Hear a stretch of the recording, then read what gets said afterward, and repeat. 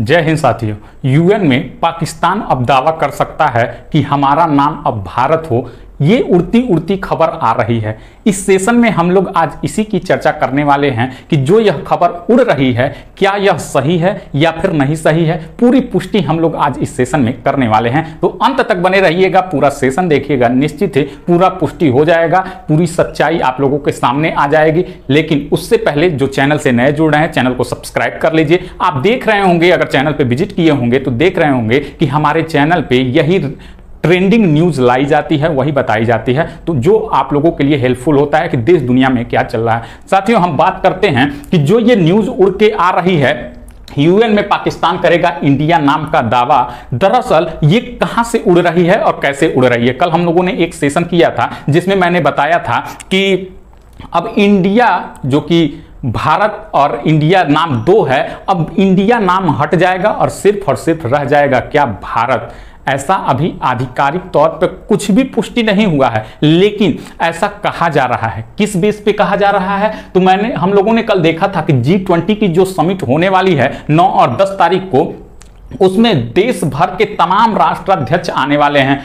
लगभग 20 से अधिक राष्ट्राध्यक्ष इसमें भाग लेने वाले हैं। तो उन लोगों को 9 तारीख की शाम में भोजन पर इनविटेशन कार्ड देने के लिए द्रौपदी मुर्मू का एक पैड जारी हुआ था। वो वायरल हो गया था। उसमें लिखा था द प्रेसिडेंट ऑफ़ भारत आज तक के इतिहास में ऐसा कभी नहीं हुआ कि भारत लिखा गया हो, चाहे वो प्रधानमंत्री का पैड हो, चाहे वो राष्ट्रपति का पैड हो, किसी का भी हो, इंडिया हमेशा हमेशा लिख करके आता है। अब यह जैसे ही भारत लिख करके और यह पोस्ट वायरल हुआ, वैसे ही अब ये कायास लगाए जाने लगे कि जो यह सेशन बुलाए हैं प्रधानमंत्री जी 18 से 22 तारीख तक, पाँच दिनों का जो विशेष सत्र लगने वाला है, इसमें एक बिल आएगा और जो कि बिल यही होगा कि अब भारत का नाम इंडिया नहीं रहेगा। हर एक जगह पे वो क्या हो जाएगा? भारत हो जाएगा। चाहे संविधान हो, चाहे कोई खिलाड़ी वाला ये ड्रेस पहनता है, कहीं भी इसरो है, उसमें इंडिया नाम आया है। हर एक जगह बीसीसीआई है।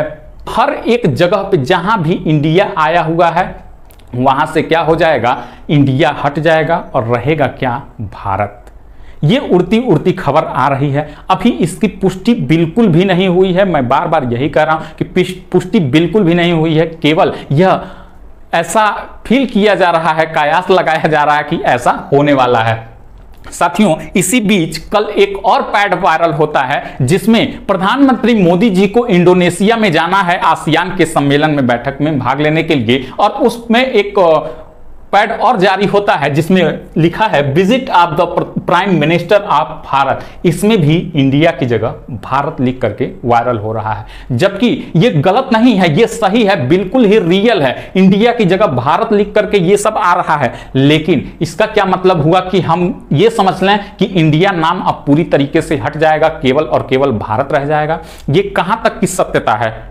इसमें ज़ीरो परसेंट सत्य है कि ये होगा। ज़ीरो परसेंट सत्य है। जब तक ये विशेष सत्र चालू नहीं हो जा रहा है, तब तक जो लोग मनगढ़ंत कहानियाँ बना रहे हैं कि वन नेशन, वन इलेक्शन, अभी कुछ दिन पहले हम लोगों ने ये सेशन किया था कि वन नेशन, वन इलेक्शन, इसके लिए ये सत्र बुलाया जा रहा है।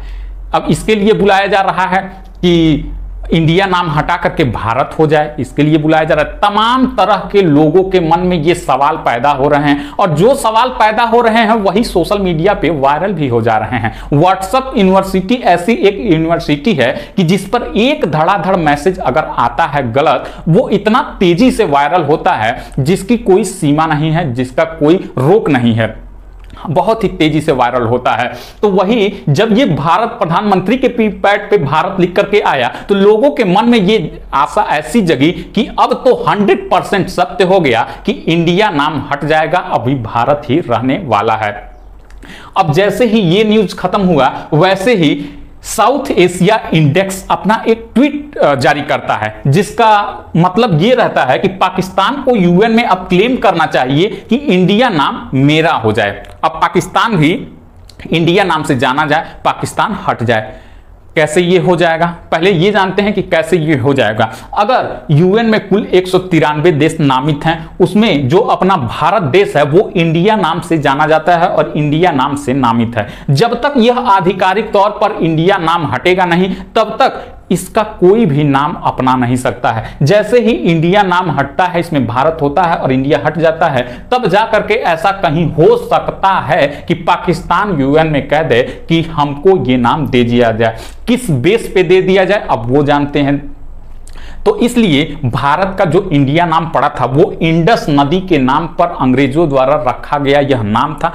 आप पुराणों में देख लीजिए, वेदों में देख लीजिए, तमाम ग्रंथों में देख लीजिए, कहीं भी आपको भारत के अलावा कोई दूसरा नाम नहीं निकल करके आएगा। भारतवर्ष या फिर भारत, यही नाम निकल करके आएगा, कहीं भी दूसरा नाम नहीं है। वो अंग्रेज़ों के द्वारा दिया गया यह इंडिया नाम है, और तब से लेकर के यह इंडिया इतना प्रचलित हो गया कि पूरे विश्व में भारत को लोग कम जानते हैं, इंडिया पूरे विश्व में प्रचलित है। क्योंकि हम ही कई जगह मतलब हम ही का मतलब हम लोग ही कई जगह कहा यूज़ क्या करते हैं, इंडिया यूज़ करते हैं। चाहे चाहे इंडिया टीम कहने की बात हो, चाहे इंडियन खिलाड़ी कहने की बात हो, प्रत्येक जगह हम ही लोग क्या यूज़ करते हैं? इंडिया यूज़ करते हैं। तो यह इंडिया इतना फ़ेमस हो गया कि भारत धीरे धीरे धीरे धीरे ये नाम छिपने लगा, जो कि हमारी संस्कृति, हमारी सभ्यता से जुड़ा हुआ है।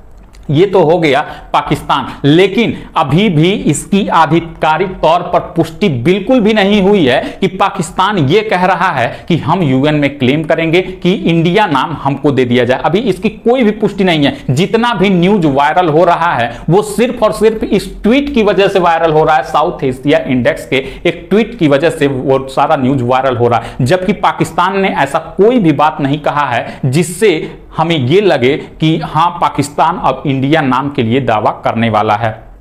साथियों, ये तो बात हो गई वायरल न्यूज़ की, लेकिन क्या आपको यह पता है, जब संविधान हमारा बनकर के तैयार हुआ था, जब संविधान 26 नवंबर दो, उन्नीस को जब जब बन करके तैयार हुआ था तब ये क्या हुआ था? इसके और पहले ही, इसके और सात दिन पहले ही 18 नवंबर को एक बैठक बुलाई गई। और उस बैठक का आयोजन सिर्फ़ इसलिए था कि जो हमारा भारत का नाम इंडिया दे दिया गया है, आर्टिकल वन में भी, या फिर संविधान में कहीं कहीं भी, चाहे इंडियन प्रेसिडेंट हो, चाहे इंडियन प्राइम मिनिस्टर हो, प्रत्येक जगह जहाँ भी इंडिया नाम है वहाँ से हटा करके भारत कर दिया जाए। इसके लिए यह बैठक बुलाई गई थी। 26 नवंबर उन्नीस सौ उनचास के पहले 18 नवंबर को यह बैठक बुलाई गई थी। लेकिन अंबेडकर जी के आगे किसी की भी नहीं चली और यह बैठक जिसके लिए बुलाई गई थी वो रद्द हो गई। किसके लिए? कि हमारे भारतवर्ष का नाम इंडिया भी रहेगा और भारत भी रहेगा। हम दोनों नाम से जाने जाएँगे। जहाँ जिसकी ज़रूरत होगी,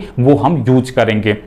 हम दोनों नाम से जाने जाएँगे। तो यह बैठक उसी वक्त समाप्त हो गई। ऐसा नहीं है कि चाहे संसद में, चाहे कहीं भी प्रयास नहीं हुआ है कि इंडिया नाम हट जाए, केवल भारत, भारतवर्ष या हिंदू हिंदू राष्ट्र या फिर हिंदुस्तान से हमारा अपना देश, भारत जाना जाए। साथियों, कई लोगों का ट्वीट वायरल हो रहा है। जैसे आप अमिताभ बच्चन का देख लीजिए, भारत माता की जय।